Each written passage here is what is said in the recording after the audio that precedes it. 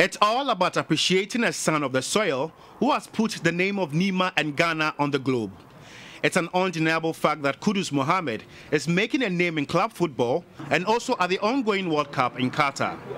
No wonder he's the first Black Stars player to score two goals in a single World Cup game. This mural being put up here at Nima says a lot. Mohamed Awudu is an international artist who's a native of Nima himself. He tells me how excited he is executing this mural. Everybody needs to believe themselves, and it doesn't matter where you come from. You can achieve once you are disciplined and moving out from your comfort zone. So for me, I think Kudus is somebody. Uh, it's a definition of discipline and uh, moving out from comfort zone. Yeah. What struck me was the love and unison by friends to ensure the mural becomes a masterpiece, just like the person being honored. Some friends supported with spray cans, others showed love with their presence.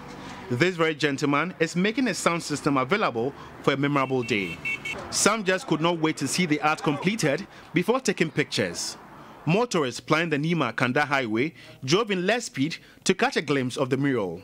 The Nima that you knew 30 years ago or 40 years ago is no more the Nima now. Right now, we're talking about Nima with art, Nima with sports, Nima with uh, people with the brains, Nima with people to be able to put us out out there and also put the country on the pedestal like yeah.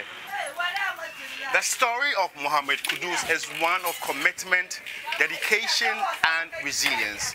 It is also not out of place to re-echo the essence of parents allowing their guardians to pursue their passion. Kudus Mohammed was born and bred here. Hajia Khadija saw him grow. Actions of the Ajax player back then are making sense to her now. wo school na ɔbɛpɛ na ɔbɛyi n'ataadeɛ ɔkɔ akodo so ndidi ɔsɛ mma mɛba mɛba ɔkwan ɔsɛ mɛkɔbɔ bɔɔl. Kudus always goes to play football after school. Despite all the scolding, that didn't deter him. Sani yɛn nyinimu sɛ yankopɔ ɔbɛkyɛ n'adeɛ. Ehun mi nana Kudus sɛ ɔbɔ bɔɔl saa. Mi fili He has really made us proud.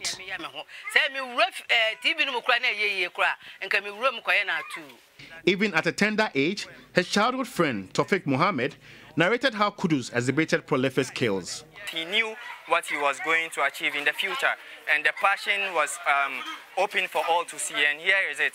He has um, proven everyone wrong that what he stood for, what he displayed, was something that was bound to happen. For others, they are not surprised to see Kudus doing wonders on the global pitch. I'm very excited. I'm very happy for him because especially knowing that we grew up together, we played together, kick about with a whole, whole host of other guys.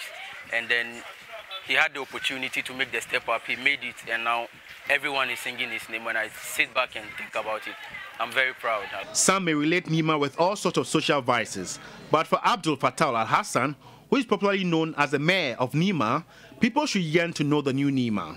I can go on and on in the military, in the in the in the police, even people outside, diasporans. We have people, our brothers and sisters, holding a big position in Japan. Come, name them. So this kind of perception, they should stop. It won't help them.